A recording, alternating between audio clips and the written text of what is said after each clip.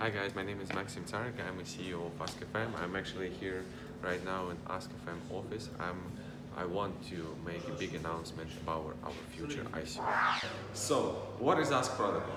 ASQ Protocol is a decentralized economy which will reward you on a fair way for content creation, sharing and participation within our ecosystem. So guys, I'm really happy to share what we are going to do our ASQ protocol. So please go on askpro.io and check it out.